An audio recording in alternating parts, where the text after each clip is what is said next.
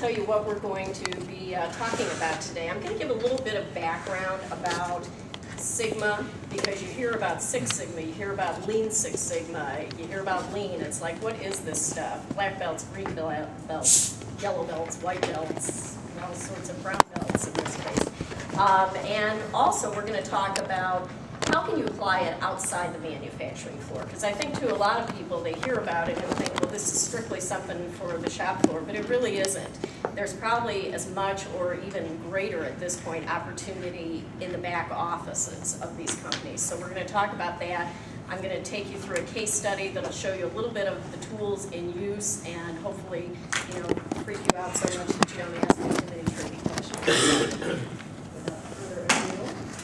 Okay, you hear about lean, and lean is kind of the left side of this. Um, they both really have their roots back to the turn of the century with Western Electric, and they kind of kept growing simultaneously, lean and quality initiatives. So as you can see, a lot of it really came out of the automotive industry as far as lean, as far as looking for ways to get more efficient.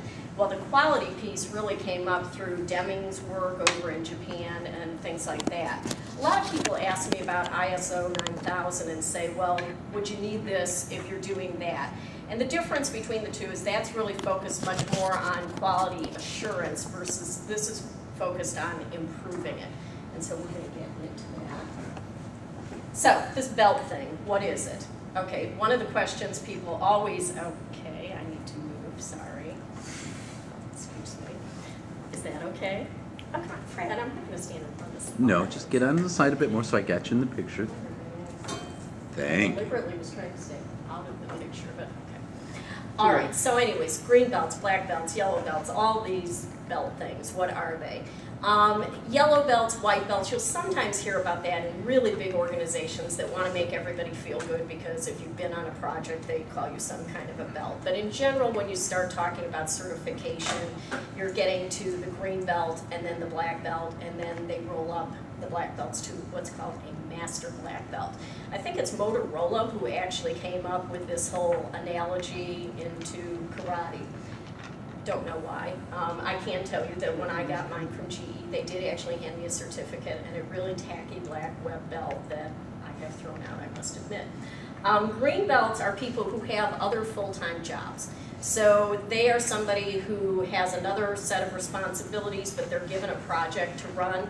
They do go through about a week of training, they're asked to take an exam, and they do lead a project, but it's usually a simpler project, and the black belt is really overseeing them.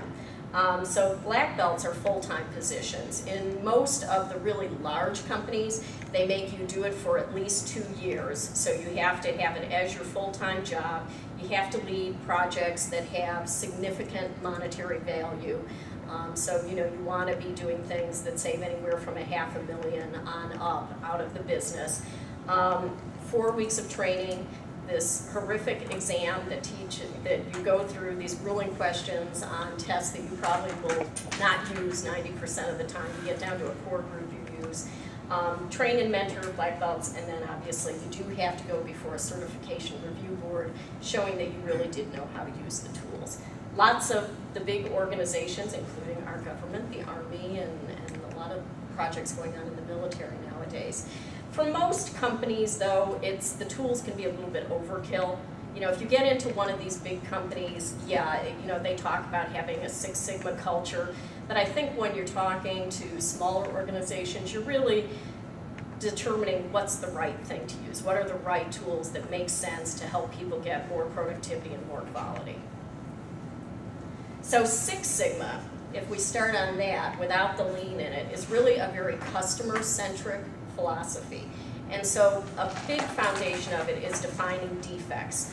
And you start by saying, what would the customer consider a defect?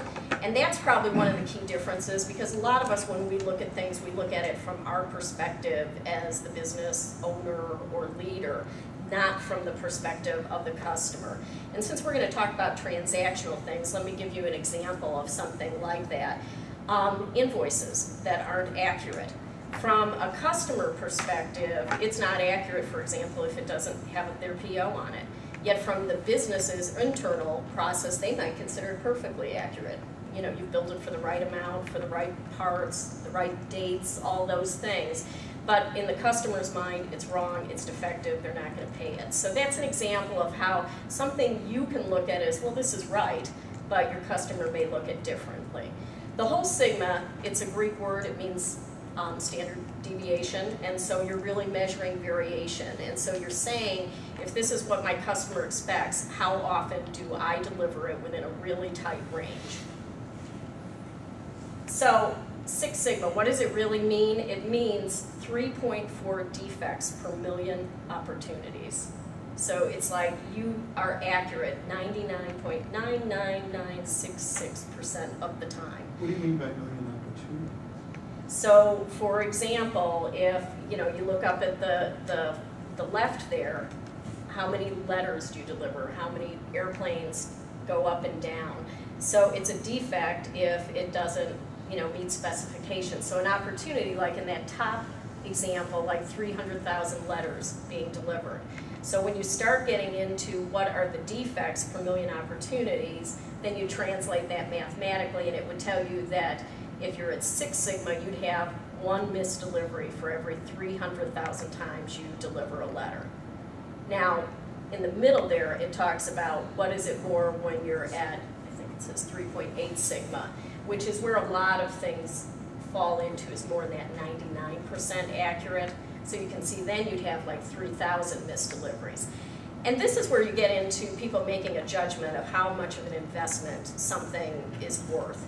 Um, because does it really, you know, ruin everything if a letter is misdelivered? Maybe yes, maybe no. But like the airplane landing, that's a pretty big one to all of us. You know, that if an airplane doesn't land correctly, um, you know, I don't want them to be at 3.8 sigma and having two abnormal landings at most airports every day. You know, I like more the one every five years. So Six Sigma ratio. is one per five years and three point eight is, okay, so it's exponential, okay. Yeah, yeah, and that's the other thing, is you can see really when you talk about something being ninety-nine percent accurate and then flipping up to Six Sigma, it's like twenty times better than Three Sigma. That said though, for most organizations, getting to like the three to four Sigma range is pretty darn good. Mm-hmm. And in general, it may be enough, again, because how life critical is your defect?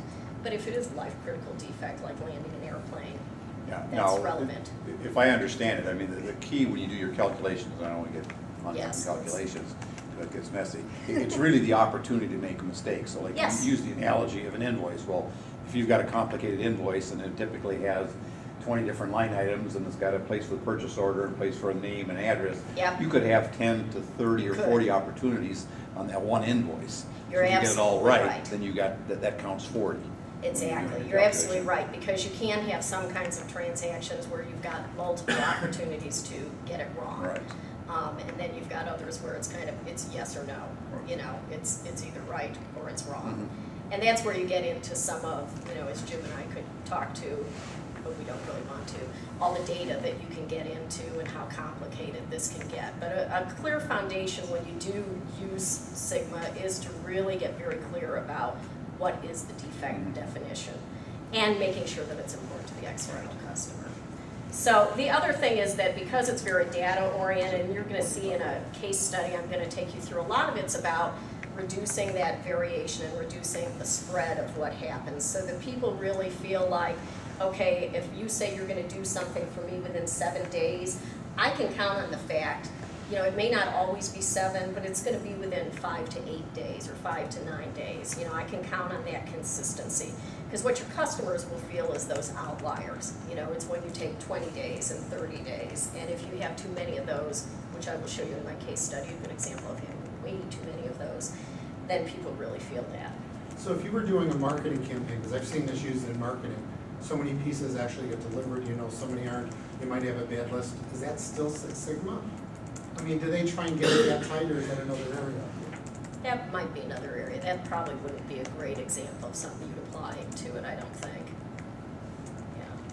Let's, we'll keep going on and see if it makes more sense. All right. Okay, lean, I think a lot of you have heard, you know, especially with the manufacturing area, it's really speed and cost focus. And it's really looking at what are you doing that's wasteful? You know, what are the things you do that just really, you know, cause extra time, extra effort, extra material in the process, and how do you get rid of those? And so. What's really interesting is that they, you start getting into this definition of, you know, what's value added, what's like maybe incidental work that's non-value added, but you have to do it in your business, and then what's pure waste. And as you can see, the yellow is the pure waste. So it's almost fifty percent in most businesses is activity that's really considered wasteful. And these are examples of the eight forms of waste. You know, so you talk about anytime you have what we just talked about, the defect, where it's a mistake and you have to rework it. Um, it can be overproduction, making more than what's needed of something at a given time. It can be inventory, stocking output beyond what you need. And that, if you think again, if we talk about the back office, could be you have a closet full of office supplies that you're never going to exhaust. You know, so there's different ways to look at this. Um, motion, when you're doing unnecessary action to complete a task. Um, you may have departments that aren't co-located that really work together, and so people literally get up and walk down the hall many, many times a day. And you're going to see when I go through the case study that even those little things, when you annu annualize them, can add up to a lot of cost. Um, transportation, moving people or things too far too often, over-processing, doing more that's, than is needed to meet customer specifications. When you get into back office things, a lot of times you'll see people doing things like, let me make a phone call, send an email, and send a letter to the customer. It's like, okay, pick one. You know, we really don't need to do all three, but people start kind of overkilling maybe because one customer complained, and then all of a sudden it becomes part of a process. Waiting, um, this is a big one, waiting for someone or someone else to do something. I mean, we can all picture that more on the manufacturing floor where you've got a line and somebody's standing waiting. But it does happen in transactions too. Um, a common example is approvals. You know, if you have a manager approving way too much of your business, then you've got people sitting waiting for them to approve it and give it back to them so that they can do what their action is. And you'll see an example of that. And um, human and intellectual waste, you know, not really properly utilizing the skills of employees because often there really is a lot of knowledge out there and the people know what is wrong in the process, but they aren't always being asked. So those are examples of waste, which as you can see is, you know, pretty big in that pie chart. Incidental work, those are those things that we get into, you know, a lot of companies have put in things to meet what they perceive as the Sarbanes-Oxley requirements, things like that, or it may be things you have to do in order to provide your service. The customer wouldn't say, well, I want to pay for your inspection process, but it's still something you have to do. But value, you can see, very small. Go ahead. I said, well, you invoice it technically, that's waste. Yeah, well, It's it not can serving be, your yeah. business, but- Yeah, you're right, technically, the whole invoicing process, yeah, from a customer perspective, they'd be perfectly happy with that one, right? Exactly. Doesn't add value to them. So really, what you start getting into is questioning what's really happening, how long does it take, challenging every step as to why it's necessary. So this kind of contrasts what is used in the pure Six Sigma methodology, which is this whole define, measure, analyze, improve, control. And it's analyze and improve where you get into all this really heavy-duty statistics. But if we build here, when what a lot of companies are doing now is really substituting lean for the analyze and the improve. And so that's where you get into value stream mapping, where you're really looking at what people are doing, looking for where the waste is, and getting the waste out of it. And if you look again at the top, you kind of get this idea of X's being like, okay, let's take out the waste.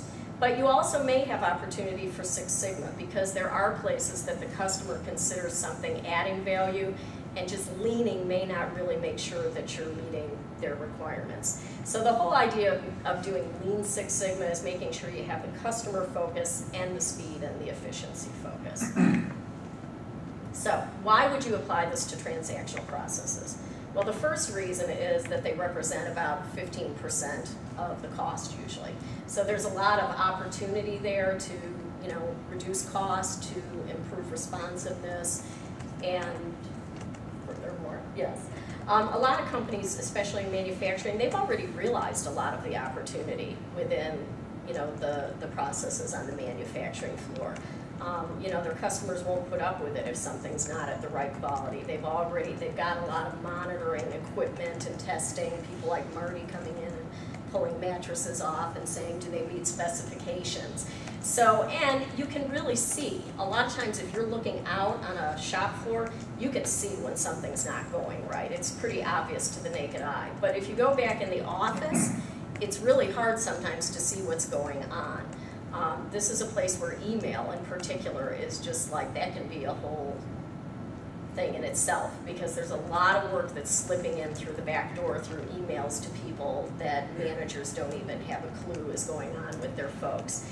And, you know, because of that, it's harder to spot the problems, so that means there's a large opportunity.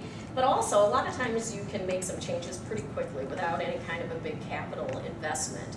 Um, you know, you can change guidelines, you can shift responsibilities, you create a checklist, you look at, you know, if Hal and Marty are doing the same thing, and so is John, does one person have much better results?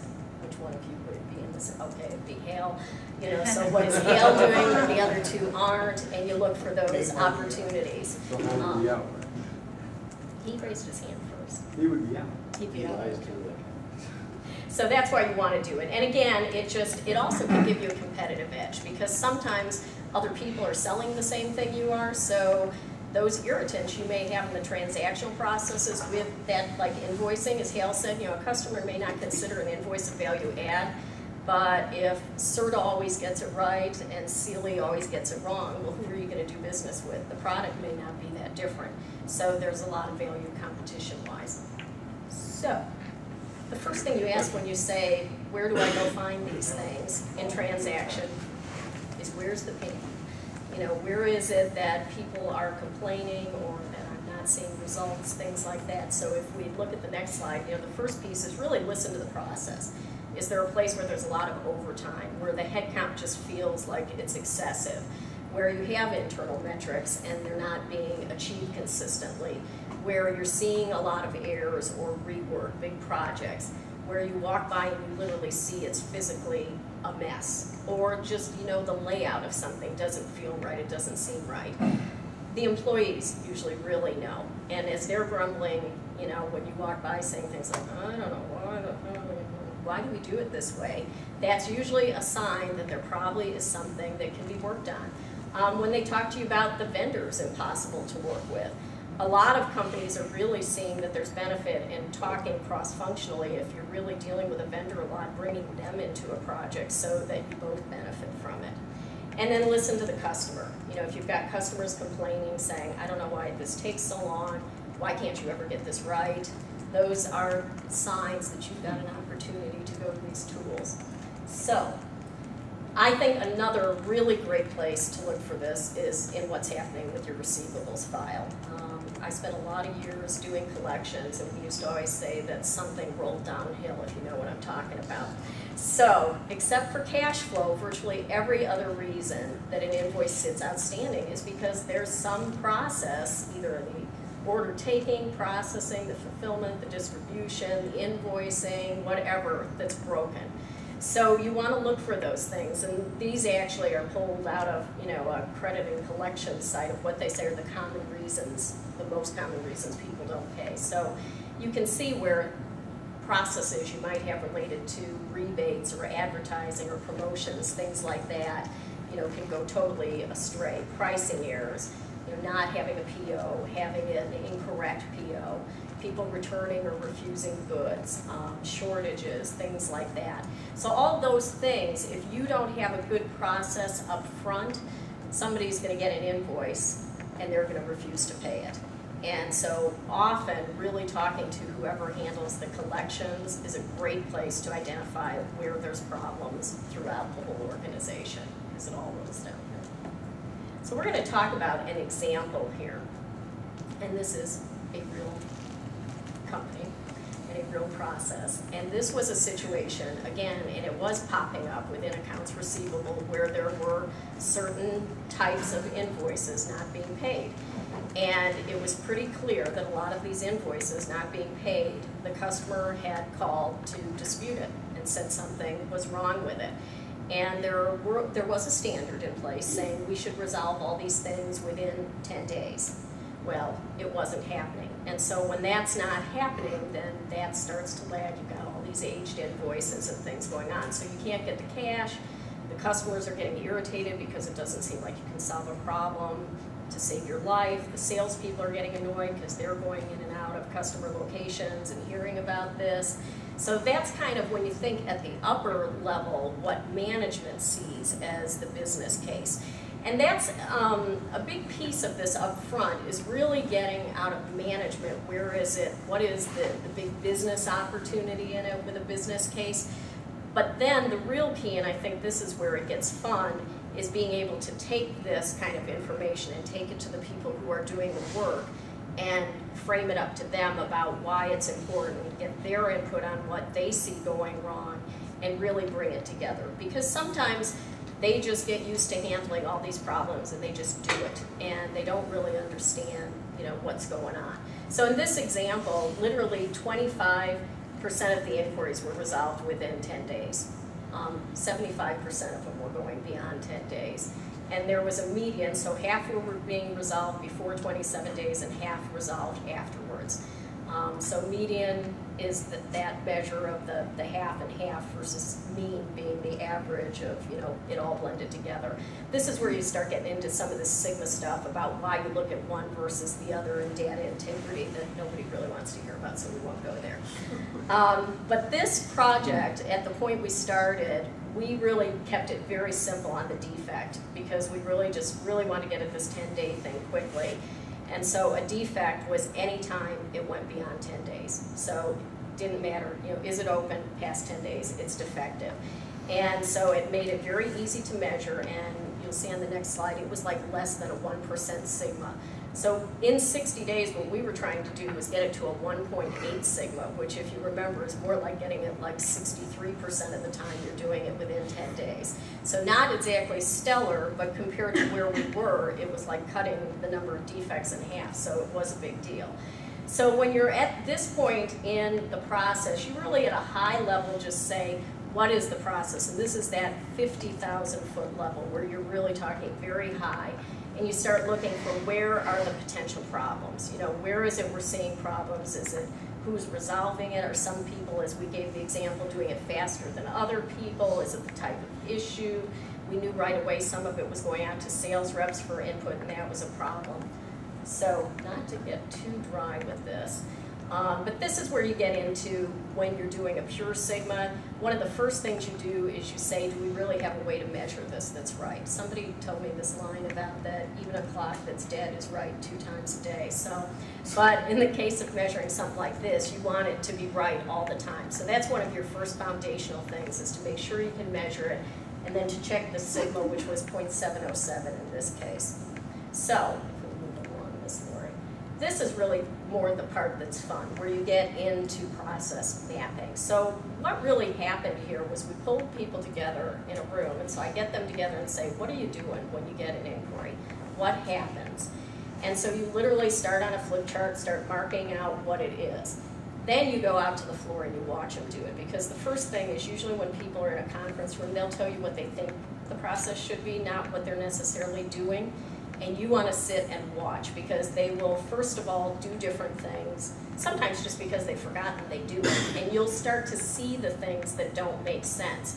You start to see that people are walking down the hall over and over and over to the printer. You'll start to see they're printing things that they really have no need to print.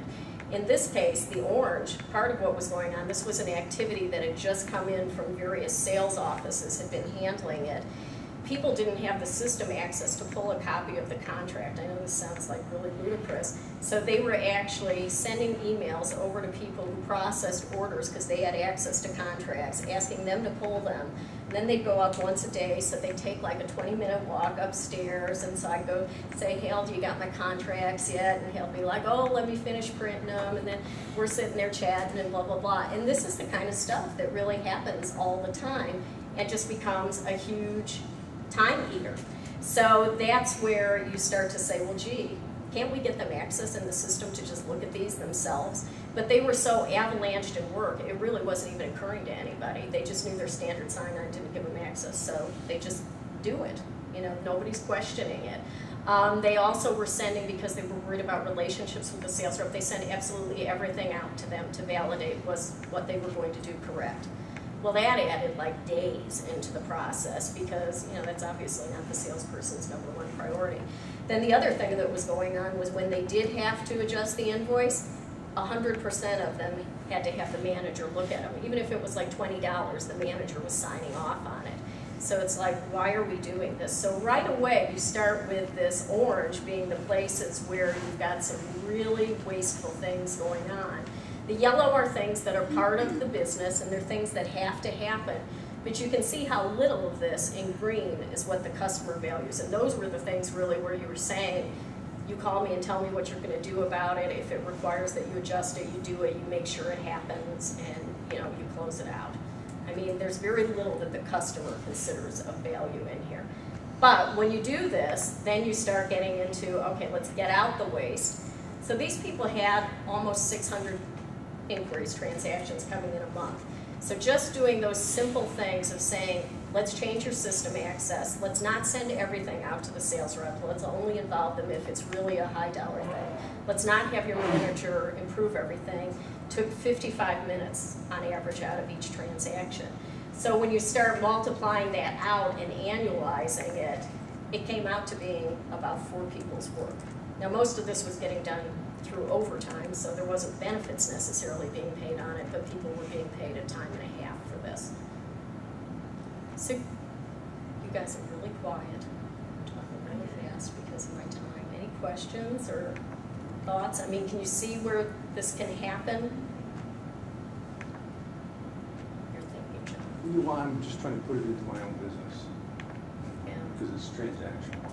yeah, yeah, yeah. Is, is, what you were doing, was that in-house, or do you, you know, go to analyze this, or do they have specialists that come in, of course? Yeah, yeah. Um, I've done it both ways. You know, I was originally certified through GE, so I did it internal there. But then now what I'm doing is I am going into companies. I'm not using all the statistical tools because it's really overkill for most people to, you know, see some of this level of detail. But I am doing a lot of this type of work where you really, you know, say, where do you think things are broken? Where is there an opportunity for me to sit down with your employees and see what's going on?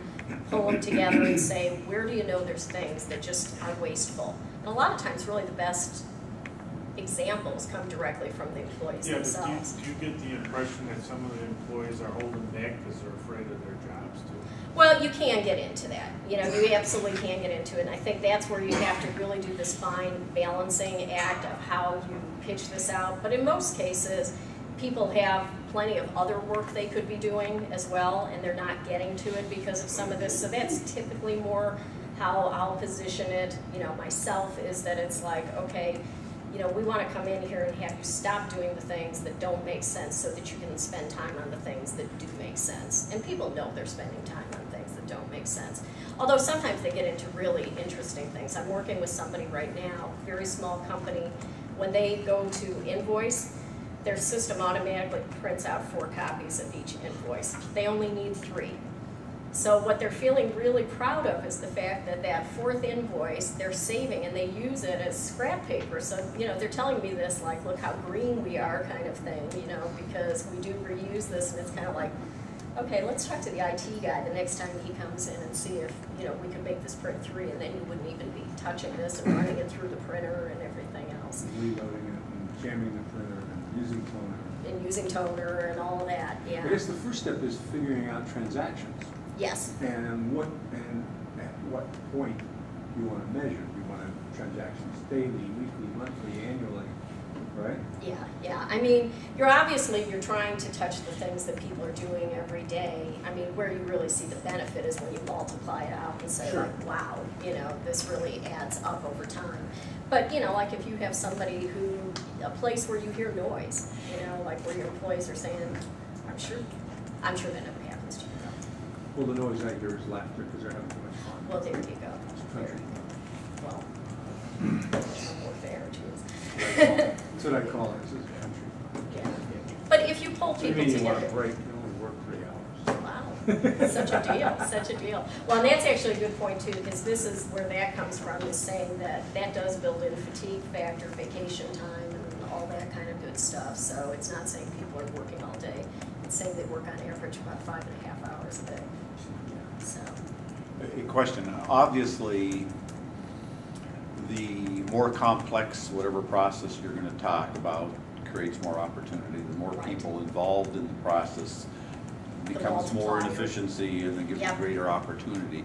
Uh, Do you, you know, yet smaller companies, you know, there's certain things that, that can get done, but do you have sort of in your own mind a minimum size that a company needs to be at whether it's a term of number of employees, probably more so, more important employees versus Exactly. revenue, because the more employees, you got more activity. Exactly. that there's a size that if, you know, if someone's got two employees, you know, you can help them a little bit, but you can really get a bigger bang for the buck if they've got twenty or thirty employees, I mean, do you have a Yeah, a benchmark? absolutely, you get more bang for the buck, although right now I'm actually working with a company that has eight employees. And, you know, part of what's going on is they, they decreased their size as the economy took a downturn. They're starting to see volumes pick Mhm. back up.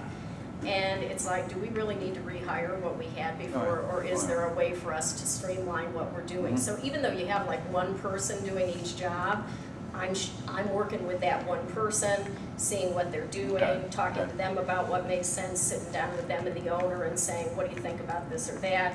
And that's actually kind of a fun one because you don't, you know, they're not gonna be able to pull Fred in, you know, with Mandatek or something like that. They don't have that kind of money, so you have to, because you're expensive, top dollar. But, but if you spend the money. But you you'll- might- it might You'll be save worth two dollars for every dollar that you spend with them. Exactly, So- So you should have a talk to them. Uh, Well, I want them to pay me first, but. Oh, that's- okay. Percentages can be equal or greater, uh, depending, even at a Exactly, smaller you're level, right. right? I mean, if you get three people and you can eliminate one, my goodness. Oh, sure. Exactly, But it's, it's but, huge. but what you get, I think what you get is if you got one person, they're doing six different functions, and it's tougher to control what they're doing. If you got It is. twenty people in a group and they're all doing one function, you have far better ways of de- developing a more efficient process, which allows you to save time and reduce the number of those people. Yeah, well, I You mean, know, just I, I, I- I just related to my own, my own experience, and I just recently hired a part-time person to assist a high, a high-paid person who was, in my opinion, overworked. Mhm. Well, I'm paying this other person, you know, nominal amount per hour for part-time work, freeing up this, this, uh, uh, high-priced person to do more and better, or uh, more important.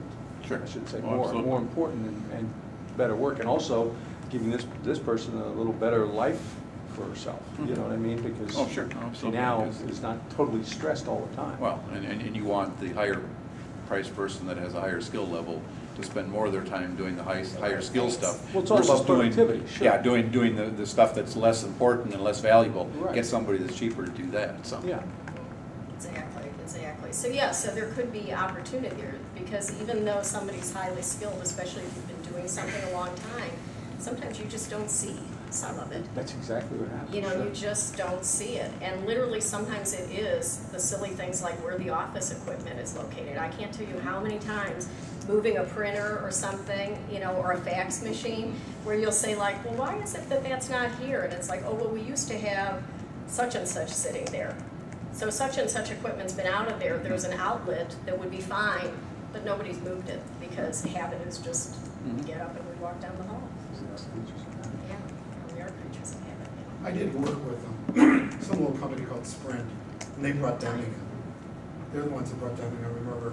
And what they would do is they, they analyzed everything they did, and actually flow charted all the steps to see how many things were duplicated or wasteful. Right. As it got more automated by computers, you can go, hey, I can have a computer replace two, three people. But then they gotta decide, what do they gotta put in the computer? And that was part of the process Deming had been working on.